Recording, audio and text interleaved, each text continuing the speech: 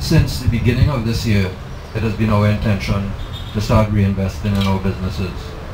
Not just in this standard flagship store, but in a number of other areas. In fact, at the beginning of the year, we finalized plans to invest over $10 million and create 100 new jobs before Christmas by investing in standard and in the retail sector by investing in standard and, and in Trimart.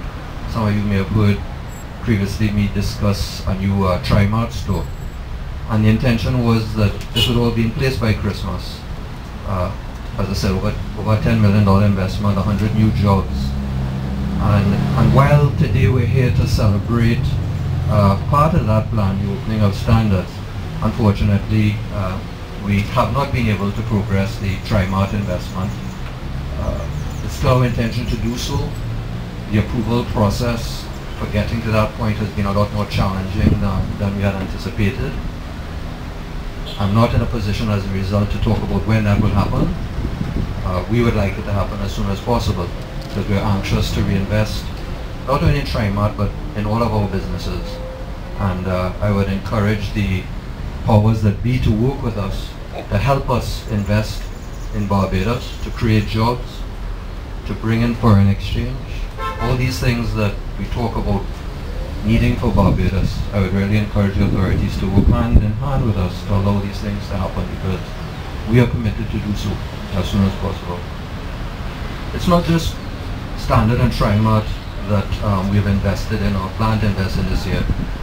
Uh, the majority shareholder in ANSA McAL has invested quite a bit in Norman Center. Some of you may not know the connection, but Norman Center has been renovated and invite you to go down to Center and take a look and see what's going on down there as well. It's a, a, a lovely mall. Uh, we have plans as well to invest in our distribution company, Brydens Stokes Limited, uh, which is located at Barbary. The intention is to expand our warehousing facility by another acre of warehousing, uh, plus offices, etc. And um, there's plans ultimately to create more standard stores. And if we can get over the hurdle of the first Trimart store, other Trimart stores. In fact, the plan in Trimart is to invest upward of $80 million over the next few years and create uh, four new stores. Uh, but as I said, we have to get over the hurdle of the first store and then, and, and then we can move on. We are not going to pull and keep ourselves out of a challenging economic environment if we continue to wallow in uh, an abundance of ignorance and negativity.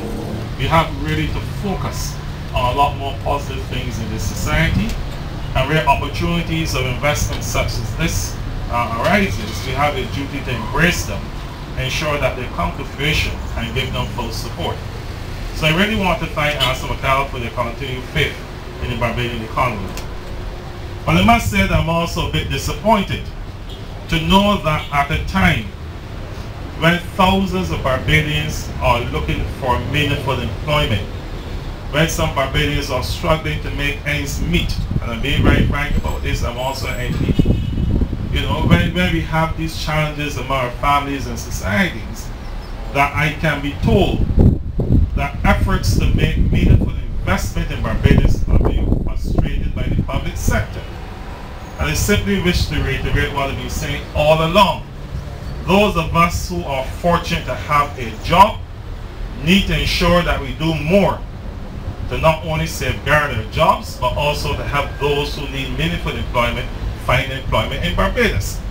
And therefore, if an entity like ANSA McAL, who wishes to expand their Trimart investment in Barbados, have applications before government departments then the public officers tasked with dealing with those applications should not go home on evenings unless they are finished. And this silliness of one department in government sitting for weeks and weeks before passing a file on to another department needs to come to a screeching halt. People have options. They do not have to invest in Barbados. But where they make that commitment to invest in this fair land, from my end, we must act with a sense of urgency without diluting our professionalism to ensure that all such investments are treated um, expeditiously, If you know, if you believe the answer is no, it is best to give a man that no answer up front or early on than to string them along weeks and weeks and months and months waiting. People can, business people cannot exist in an of uncertainty and tardiness. This store will also offer later opening hours and seven-day trading to make the shopping experience as convenient and enjoyable as possible for our patrons.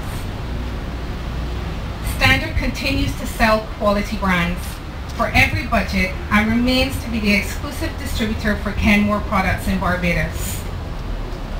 We service what we sell and we pride ourselves on our service. Within this new store, you will find new additions in every department, including a fully functioning Frigidaire gallery kitchen where in the future we will be hosting cooking and product demonstrations to share with our patrons. We have also introduced the Standard Select program that will allow our customers to use Standard as their resource for any specific appliance or that unique piece of furniture that you choose to find.